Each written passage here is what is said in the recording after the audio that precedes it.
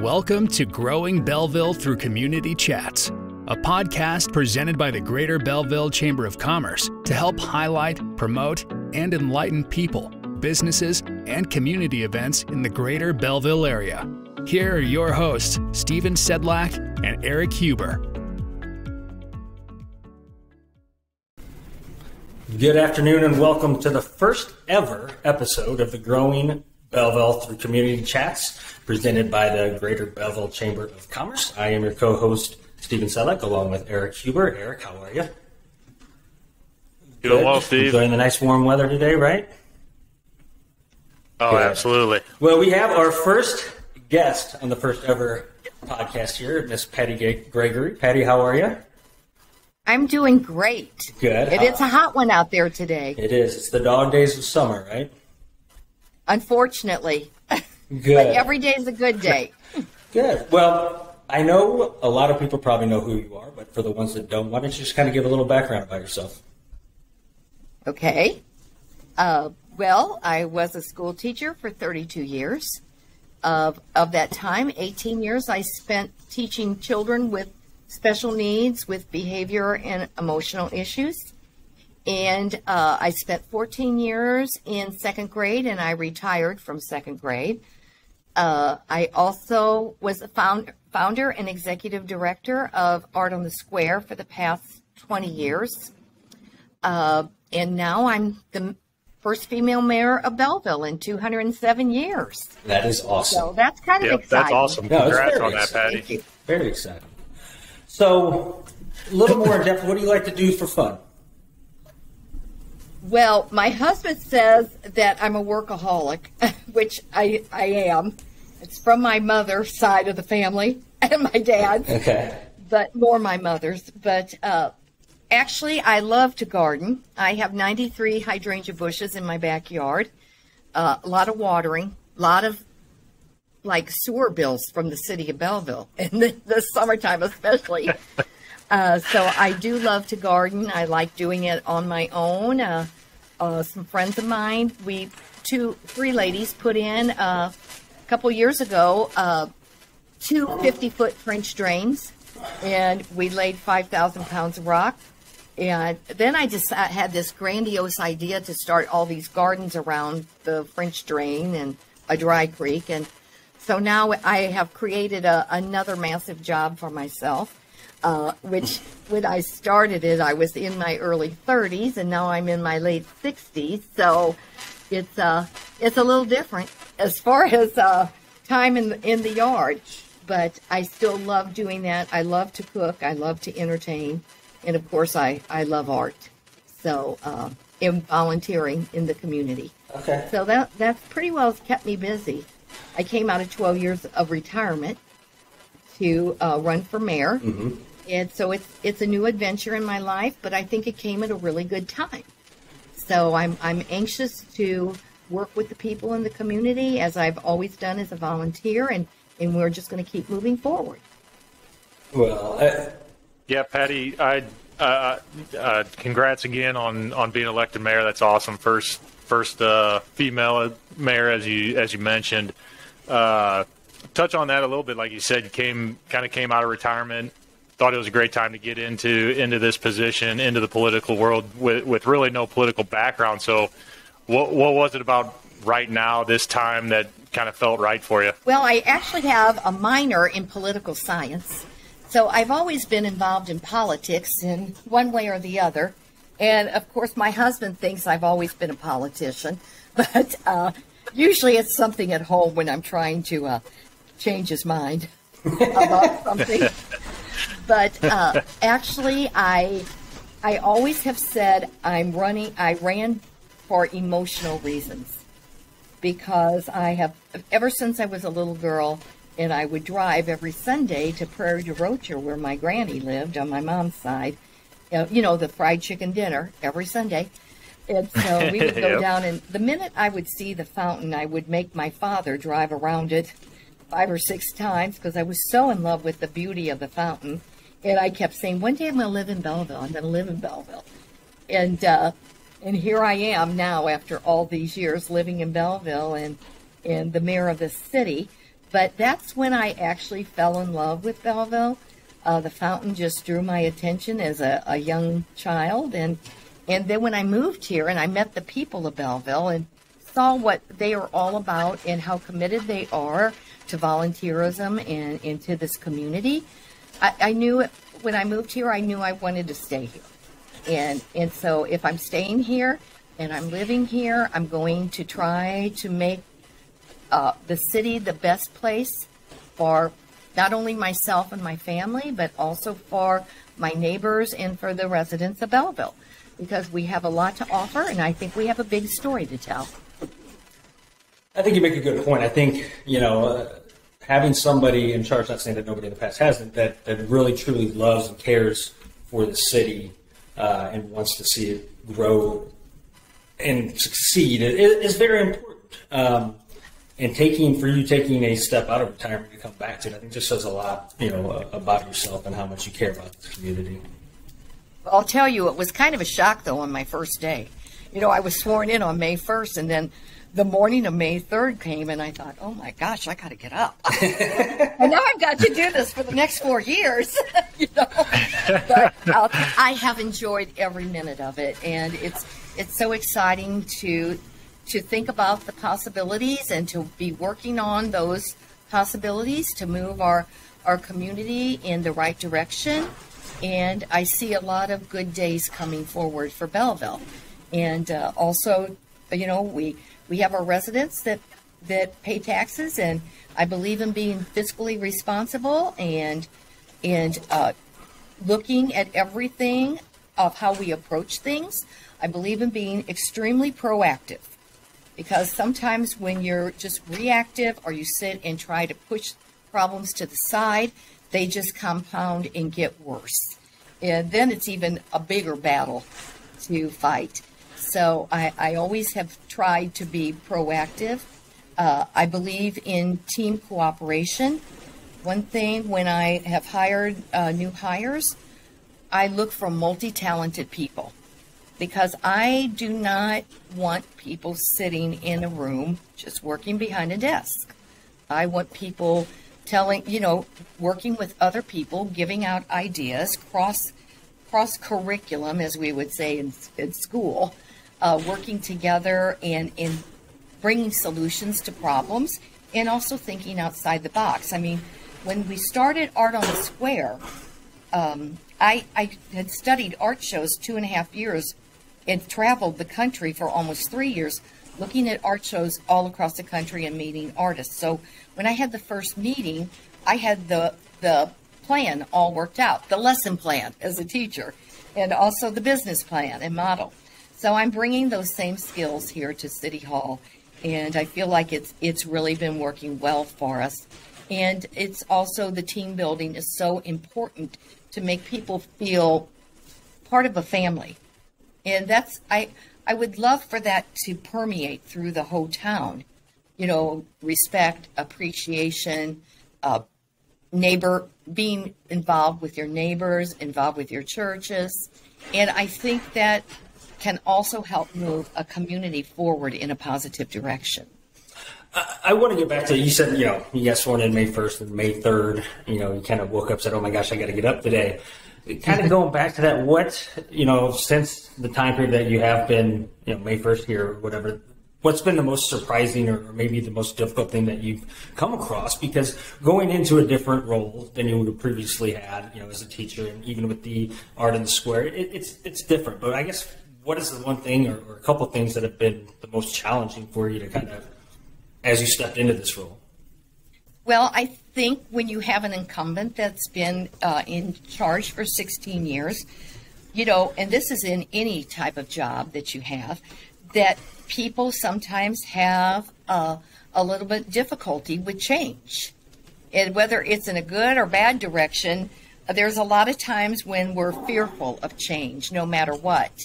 And that has been one thing that uh, I sometimes feel a little challenged by. And to uh, let people see the difference that in different ways that we can do things. Uh, but I, I'm getting great cooperation and really have had some wonderful discussion, which is another reason why I am not a micromanager. I believe in letting people talk. I mean, the second day I was here, I, I had a meeting at the police station, and it was kind of funny because the chief of police said, Oh, we're saving that spot for you at the head of the table. And I said, Why? I was sitting on the side. And he said, Oh, no, that's the mayor's chair. And I said, I said, Oh, no. I said, That should be your chair because, you know, you're the chief. And I've never shot a gun off before. I don't want to. so, anyway, we kind of got a laugh over it because, you know, after working for 20 years with so many of the city employees, he was calling me mayor. And, and I said, Oh, you don't have to call me mayor. Just you know, call me Patty. We worked all these years together and and we know each other personally. And, and then, of course, uh, he said, "Well, I better call you Mayor. That's what I'm used to, and uh, you know, for respect for the office." And I said, "That's fine, but don't call me Your Honor."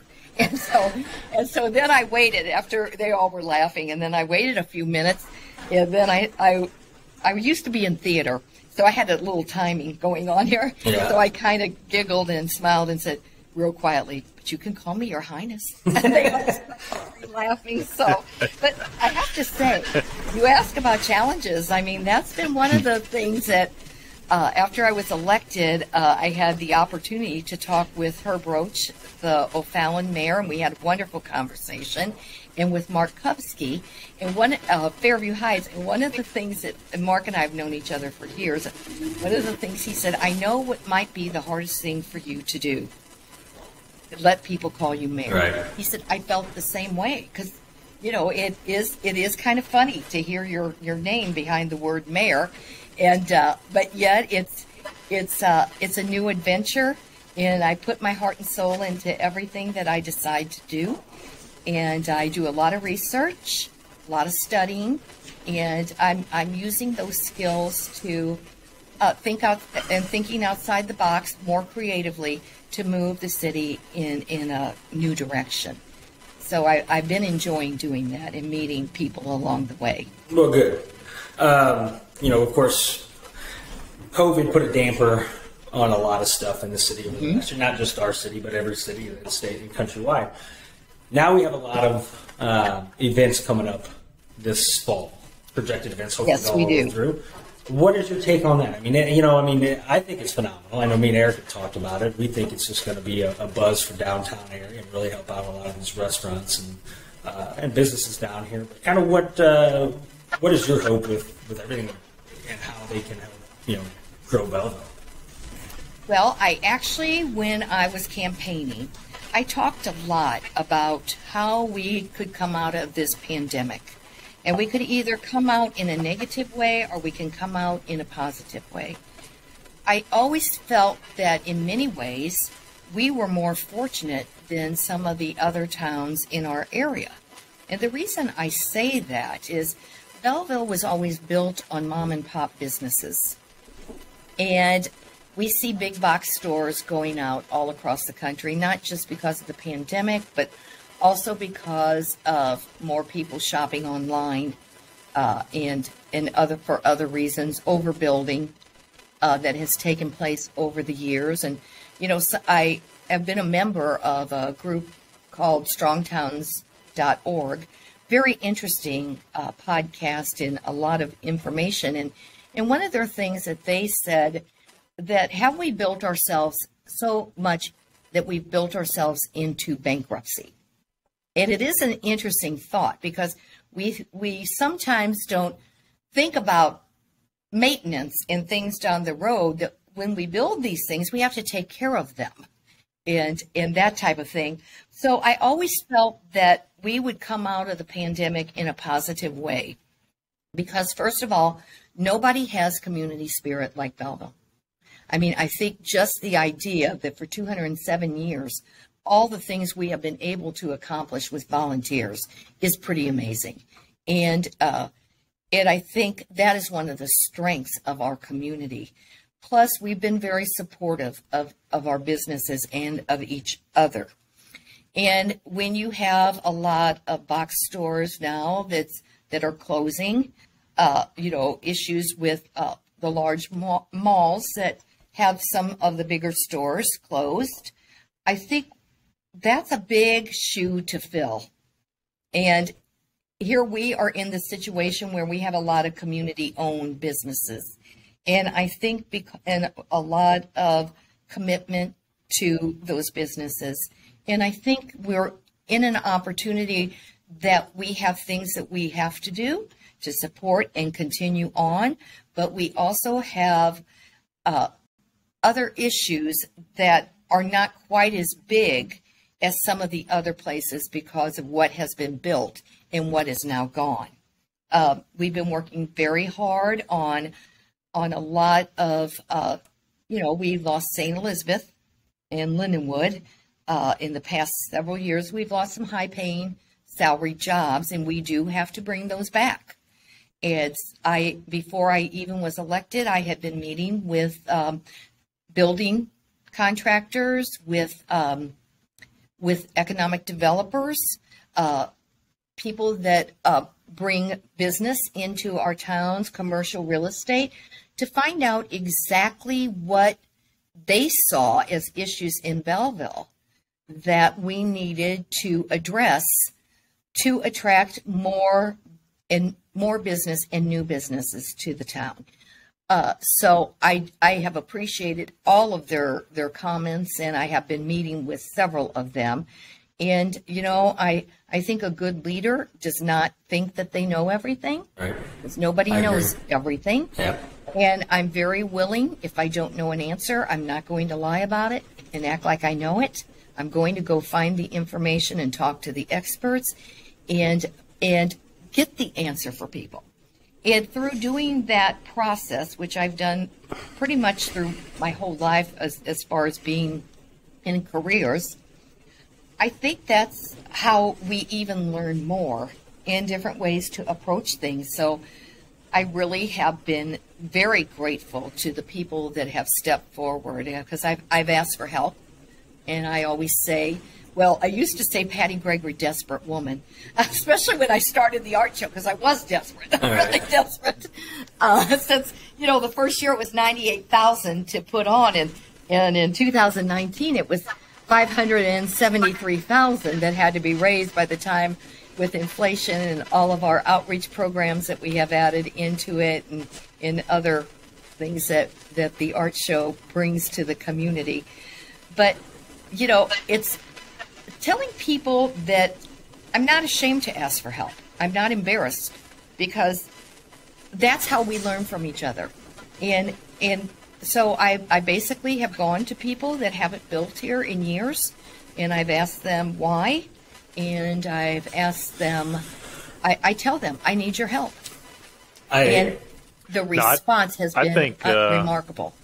Because they want to help. Yeah, I mean, I I think that's just like what you're saying there, Patty, is is the why. You know, we as you mentioned, we we've lost some big companies in Belleville, but one thing, I mean, I was born and raised Belleville. My parents still live in Belleville. We still live in Belleville. Uh, I'm a Belleville guy. I got the stories like you said when I was a little kid. I mean, you run around that fountain a couple times because you wanted to see Oh, the light show and Exactly. see, you know, different Yeah. colors, everything. So this square is a, a staple spot to many people. Um, I think that the opportunities there with Belleville. I'm, I mean, I I myself looking forward to to someone as passionate as you, like you said, take something like art on the square all the way up to a, a, the number one art show in the country. Uh, the opportunities there. The question has to be the, the the why not us? You know, why not Belleville? And, and get those answers. Uh, I love the fact that you have the team of of people who are diverse in every aspect type of deal as well because you know you're going to get those ideas from from your team not one person Exactly. uh, when you're when you're bouncing everything around. So no i'm looking for i mean i think the the opportunities there and and looking forward to to see what what you're able to do in your in your term here. That's Yeah. awesome. And we have so many people who are committed to this town, and they want to see Belleville succeed. And actually, I have found out our neighbors want to see Belleville succeed because when we're all together, and there are, I think it's just good for the whole county and for the whole section, you know, our whole area of Illinois. And in fact, when I went to speak with uh, Mayor Roach and uh, Mayor Kupsky, you know, we talked about things that we could collaborate. You know, crime has no boundaries. Homelessness has no boundaries. And these are all issues that we should be working together on. We also talked about the fact that, you know, there's ways that communities could save money by co-oping and buying even chip and oil and salt for the roads together and uh, getting better pricing. And uh, so we're looking at cooperating uh, with with all of the communities and and really seeing how we can be working together to move us as a group forward. I, I agree with that's you. That's important. I, I think not even just the communities around here. I think, you know, even St. Louis, right? I think as St. Louis grows or rebounds back, all it's going to do is strengthen Belleville, O'Fallon, Shiloh, the areas around here. Um, if there's a way to help curb crime in St. Louis, it's going to help curb crime over here, that type of thing.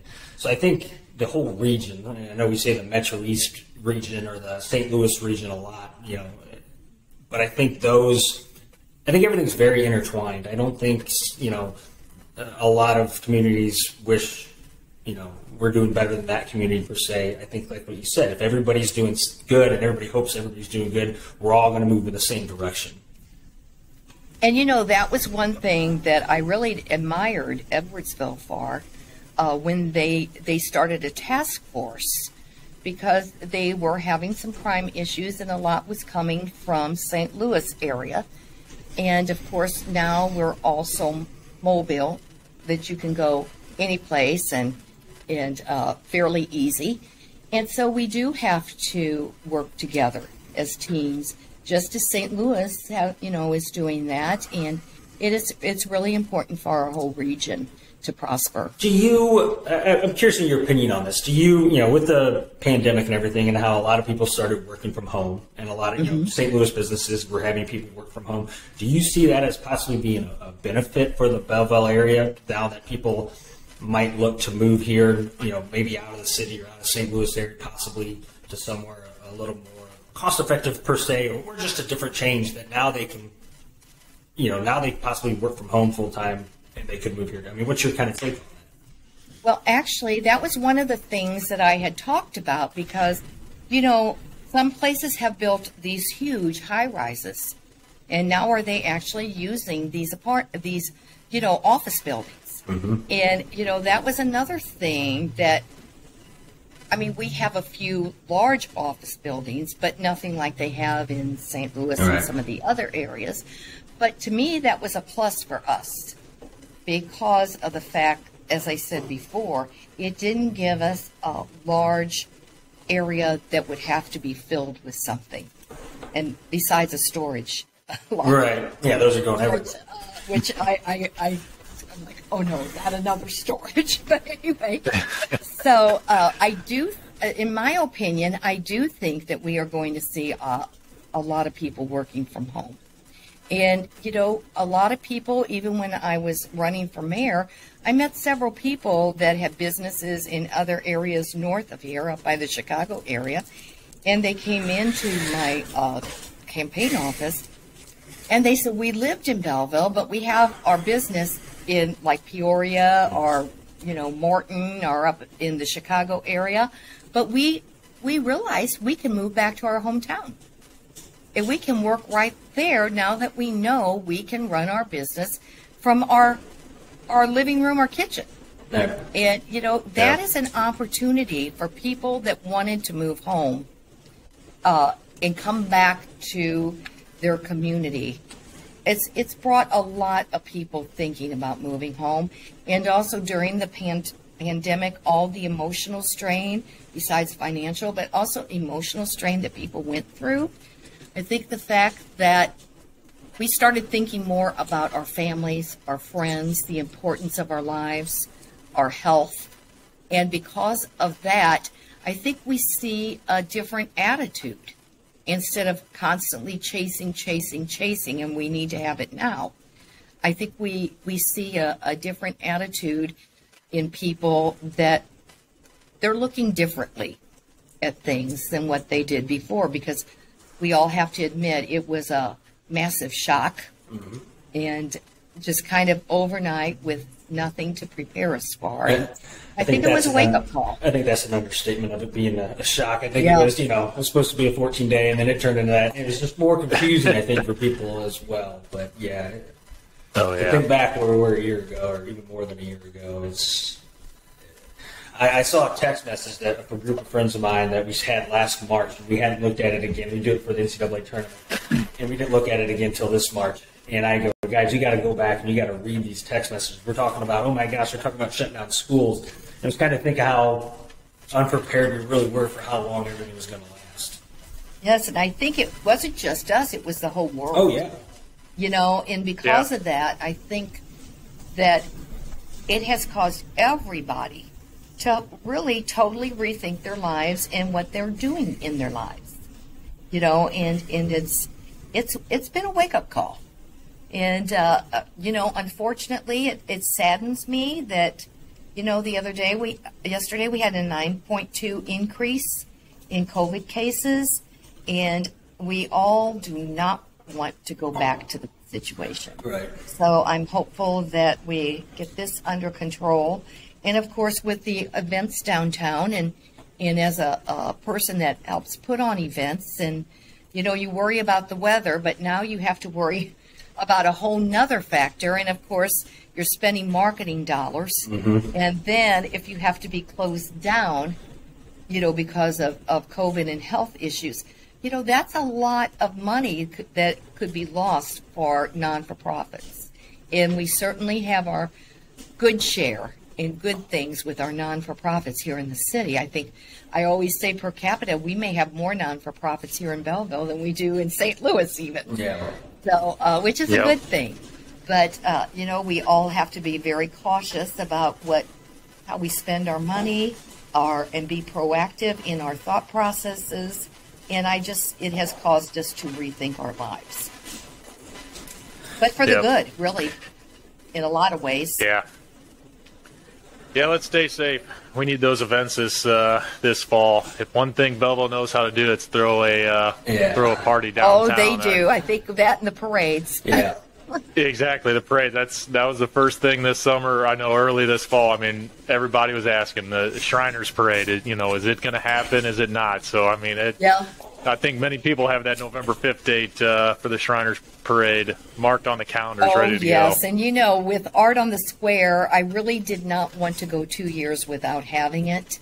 Uh, it's it's so uh, it's a 11 month out of the year job, but we have 600 volunteers every year that help put it on during the weeks before. But during the year, we have about 50 people on a committee, and they're all we people don't get paid for it. They do it as I did for a you know for a love of a community, uh-huh.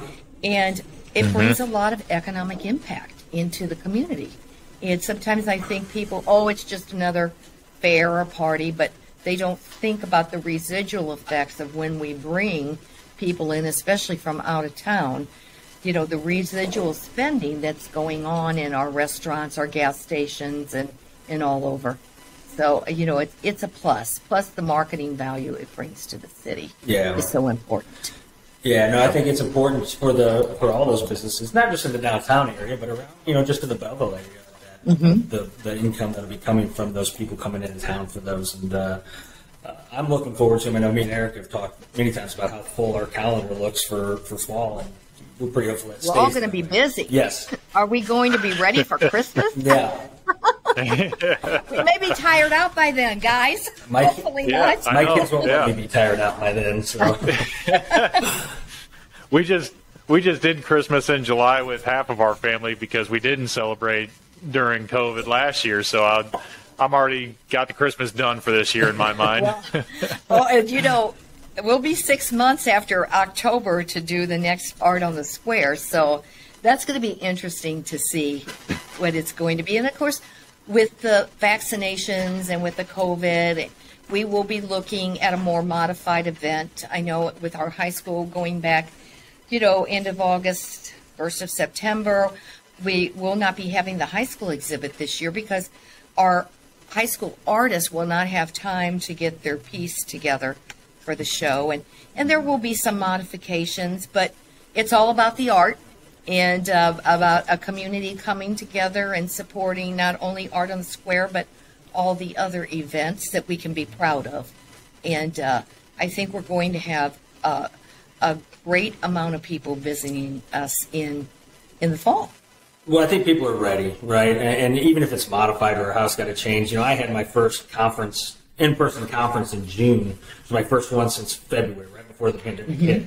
And I told you, I, I couldn't believe how much I missed conferences. I used to dread going to most of them. There's a few I liked, but it was just so good to be in a room full of people and just socialize and converse with them. Um, you know, not barring the content of what was there, but just to have that, and that's what people have missed and, and are striving to get back to. So I think even in a modified state, I think people are still going to be extremely grateful and happy to you know be at these events.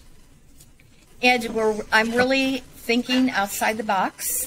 Uh, I have reviewed with other people and spoken with a lot of different people about issues facing us and uh, prioritizing those issues. What are the first things that we need to be working on that will bring bring in residual effects. Uh, we all know with the loss of Lindenwood and St. Elizabeth, we did lose high salary paying jobs. So it's important that we focus on on bringing in things that actually will bring in higher paying jobs, which will uh, start new development, uh, bring in companies that may have more employees, and these are all things that, that as a mayor and our aldermen and all our constituents need to be thinking about uh, and working together. We are going to be doing uh, some things in cooperation with the county, as you know, like our Halloween event downtown. And I'd love to see a storytelling festival uh, with on a small scale that would be like spooky stories and in buildings and for children and maybe in the restaurants and some of the libation areas. Uh, stories, cool. spooky stories for adults. But I mean, there's all kinds of, of different things. But, you know, these are all quality of life issues also. And I think that is one thing. We have beautiful parks. We will be working on doing some different things in our parks, making them more uh, educational centers also. That's the teacher in me. I mean, that's one of my goals and objectives. And I, I do believe that uh, with all of our sculptures that we have in the city, the beautiful historical districts that we have, and we will be uh, showing those at the first Art on the Square. We had our first lofts downtown. It's so we did have a loft tour, but we also will be having uh, beautiful mansions downtown that you would be paying millions of dollars for in St. Louis that have been renovated by these young couples, and they've just been doing amazing work. And we can't miss the opportunities to show what we have to offer. So we, we will be opening up some of those homes for tours, and uh, I think it's a great opportunity because when people come to Belleville and they see Belleville and they move here, they love it. And, and so it's very important that we, every time we, we do something, with our events or with companies, it's a great way to promote our city and what all we have to offer. I mean, nobody has uh, 207 the 207 years of history that has been just so engrossing for our town and differentiates us from a lot of newer towns in the area. So these are all things that we need to be we need to be progressive, but we also need to think about our traditions in our town.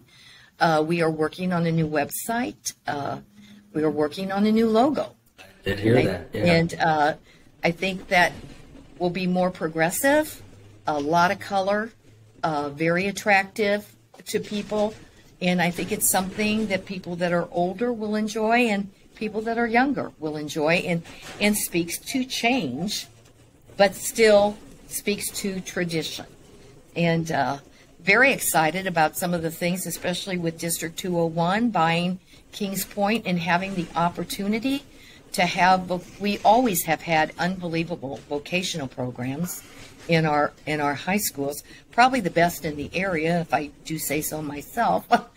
no, I, I uh, and, agree. I think what they've done is yeah. just awesome. it's awesome. And, you know, uh, as a teacher, not every child is college bound. And to learn vocation, uh, a lot of times, uh, you know, people that are plumbers and welders, uh, and we need those desperately because all these years we've pushed college, college, college. And you need an electrician and a plumber. You need them. Okay. Yeah. So, I mean, I'm, I'm happy. And the fact that we're going to be having culinary classes and vocational, I mean, we all know that foodie is a big thing. And, uh, Yes. and I think these are Yep. all opportunities that as a city, we, with our, the progress that we are making in those areas, really differentiates us also uh, with our school system. And uh, so I find it to be very exciting and very grateful that, that they were able to do that. And we have some new exciting things on the horizon that we have been working on since May 1st. And uh, looking forward to, to letting the public know some of the things that are coming and, and uh, just continuing to work. No. Well, hey, look, we're coming up here a little past 30 minutes or so, and we want to be respectful to your time. So, um, I have a tendency to talk too much. no, you're, I hear it. hey, well, I know all you guys can't believe that. That's good. No, but we just were respectful of your time, and we appreciate you coming on. Um, you know, I just want to leave you with one quick question: Is what in a year from now, where do you where do you kind of see things being? Your, your first year into to being Mayor Patty Gregory, where where do you see things being? Well, I had a list of things that I wanted to work on from uh, from the very beginning that I had thought about and researched for a long time. Uh, of course, we uh, I, I look forward to seeing something different where we had 16 city blocks gone with the loss of the hospital. I look forward to having uh, really great things going on with the loss of Lindenwood uh, to replace things there that need to help move our city forward, just as we want to replace things with that we had with St. Elizabeth Hospital. I hope to have new development uh, and also infill projects throughout the city. I think it's very important. We are a city with old housing stock.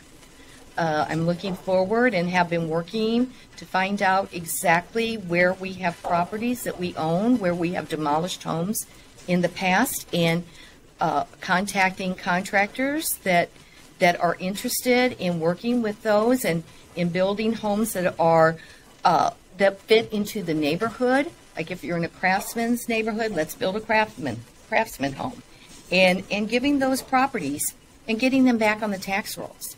I think that's really important. So I hope that I can accomplish. I'd love to accomplish all of it, but we we never know what's ahead of us. But I plan on having um, more positive things going, and, and with the trust and the and the help of the community, and with people that have come forward already to say we want to help. I think we can achieve a lot for our community. It, you know, I've always been a person. I, you know, I always that little saying, "Build it and they will come." I'm always like, okay, we're going to do this. I mean, remember the first Art in the Square meeting, and they said, what are we going to do? I said, we are going to be the smallest, most exclusive show in the country, and in the first five years, we're going to be number one out of 6,000 art shows across the country. Of course, everybody looked at me like I was a fool, but we did it, you know, and we did it as a group and all together. And, and so I, I'm hoping that's exactly what we'll see in the year. So there's a lot to think about and a lot to do. There is. I'm going to have to get some beauty rest, though. look at this. Oh, yeah. Oh, come on now. But anyway, Okay. So I'm anxious. I'm anxious for all the possibilities all of us have together, and and I just want to thank the people of Belleville for putting their trust in me. It's it's it's a big job, and I need all the help. Well, and I, you- I think it's going to be great, though. We wish you the best of luck, and we want to thank you for being the first ever guest on the Growing Belleville Through Community Chats presented by the Belleville Chamber of Commerce. So, again, thank you, and uh, everybody have a good day. Well, I thank you so much Yeah. for inviting me. Thank you. So we Thanks, just got to keep moving. Yeah. That's right. We move forward. All right. That's thanks. right. Take care. Okay. Bye. Thanks for listening to another episode of the Growing Belleville Through Community Chats podcast. Please remember to follow and subscribe to this podcast and share with your friends and community leaders. For additional information from this podcast, please reach out to the Greater Belleville Chamber of Commerce.